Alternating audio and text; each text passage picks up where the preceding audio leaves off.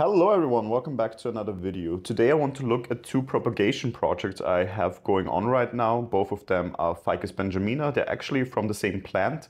And what I want to do today is combine them. So we have two very different propagations. We're going to look at them a bit more in detail and then we will start working on them. So here we have quite a traditional propagation project. So it was basically an offshoot of the main plant. So it had its own established root system I simply put it in its own pot and has been growing since then. Basically, this entire branch here has grown newly and of course some leaves on the older branches as well. This one here is a bit more interesting. I actually took it as a cutting from an existing tree, an existing Ficus benjamina, and I have tried to start growing it more into a cascade form, or at least a semi-cascade form. Uh, the goal, of course, is later on to have it in a nice fitting bonsai pot, so in a cascade pot, and have this nicely draping over the edge of the pot. However, unfortunately, it had a little branch here in this direction that has died back, and I do think it would really fit the design to have something also growing up here, so a little apex also on this side. And I thought, why not combine those two cuttings and try to fuse them together and get this way the desired look out of this tree. So what is the plan for today? It is basically repotting both of these. I'm not sure if I will repot into one of those pots. I have thought about maybe using this one again, but adjusting the soil a little bit. It is mainly a coco coir mixture, so I might make it a bit more airy by adding some clay pebbles. So I would say let's start right away with this project by first of all taking out this little plant and then deciding maybe we can add it to the existing plant here or maybe move to another pot altogether. So let me move the other one a little bit out of the way to give you a better view. So we move this one here and we bring this a bit more center and we will start to take it out. Uh, there has been some dieback now this winter. I think once it got a bit too dry, that is often the case that can happen with those clay pots. They do dry out quite fast and if you overlook it for one or two days, of course, even a Ficus benjamina, which is normally quite hardy, can react to that. But not all was lost. I'm already interested to see how established the root system actually is, and I do see some roots down here, so that is a good sign. I simply try to take off the soil mainly back into this pot. You can see the soil is just this normal potting mixture you can find ready in stores with a lot of small pumice inside. I haven't watered in the last two to three days, so it is quite easy to take off the soil because, of course, when it's dry, it doesn't cling that much to the roots, which is always something I tend to do. So that is definitely a tip I can give you. When repotting, don't water one or two days before. Simply makes your life way easier this way. So I see one or two big feeder roots. And other than that, not too many established roots actually. And a bit one-sided, so not any radial roots or anything like that going on. So the root system is definitely not developed a lot at this point. You can see you have this one big bulbous root that are, it's quite common for ficus. This is the way the root system looks on them. And then thinner feeder roots going off of that. So here we go. The question is now, do we simply add this in this pot here, or do we take them out altogether and pot them up new? I think it is actually the better way to pot them up new. So take them out, tie them together, put them back either into this pot or into a new pot. So we do the same thing with this plant here. And I already am suspecting that the root mass on this one is not as developed as I would hope. And it definitely seems this way. You see there's almost no root system. And I think the reason is because the pot was too big for it. You can see there's almost no root system on this one. Shockingly little actually. Of course, one reason for that is, as I said, it was a cutting, so the root system you can see has developed afterwards from different parts here lower at the trunk. But nevertheless, I mean, I have had this potted up now for I think two years minimum, and this is all the roots we have achieved since then. That is definitely not enough. That means the soil it was in was not the right soil. Maybe also the, the spot it was in was not the right spot, but we do need to change something here. And looking at how this root system has developed since then, I might even tend to go a bit in the direction of the, the potting mixture I had used for this one. So basically the potting mixture we had here. However, as I said, I want to mix it a little bit. So first what we're gonna do before we look really at the pot and the mixture we use it, we need to tie those two together. So if we look at those two plants, my idea and my plan is to have them fused together here at the lower part. So basically like this, could be a bit in the back or in the front, it doesn't really matter, and have here two or one new branches, depending on which side branch we use, develop from here on onwards. And that's why we have to tie them together. So actually I'm quite happy already with tying them together like this. So the way it is right now, it fits quite nicely.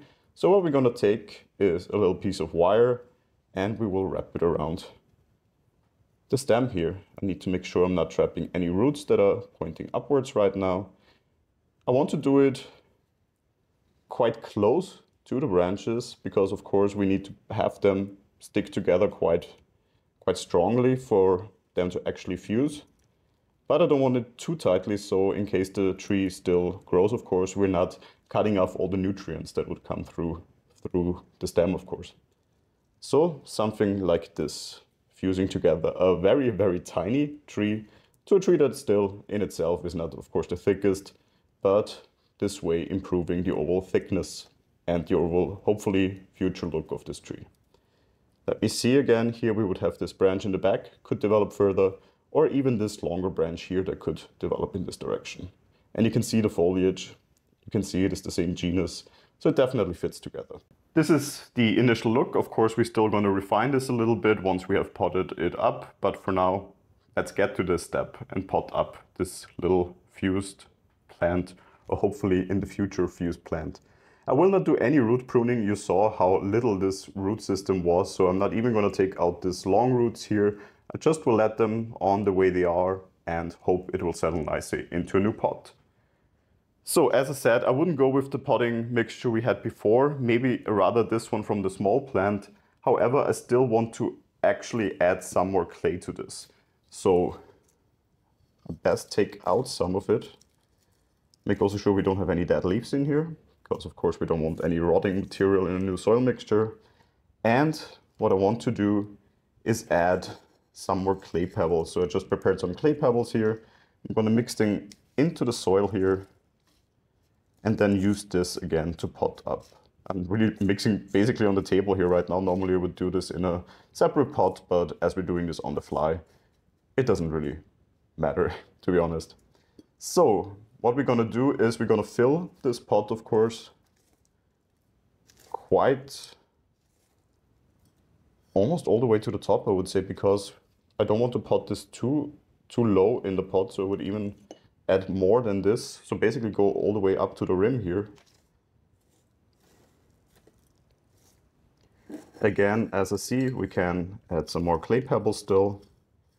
Just fill this pot as much as possible. Then we take our tree, we position it. As it is a round pot, I'm not thinking too much about now where a potential front or a potential back could be in the future, because for now, the important thing is that we will grow a healthy tree here that in the future then can be refined and worked on in more, more detail. And now we just use all the left soil and fill this pot. Again, I like to add a quite liberal layer of clay pebbles, making sure we have enough soil in here also to really stabilize the tree and it not falling out. Of course, I do want to actually position it in a way that it would be leaning. So again, let me check how to best do this while covering, of course, also the new roots that have been in a different angle actually. So how do we do this best to make it also hold and cover all the, the, the roots basically? So, and of course then We might even apply some wire and we take some more soil. And again, some clay pebbles, making sure everything's covered here. I'm trying to press them down also a little bit. Of course, we don't want any air pockets in here where moisture could be trapped. And of course, that could lead to root rot otherwise.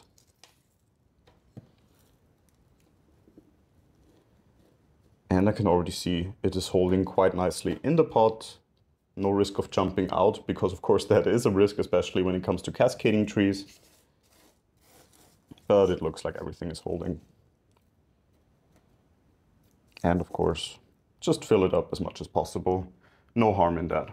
So let me move again, everything out of the way. And we take a look at how it is looking at the moment. And then we will still prune it a little bit. I like the cascading of it.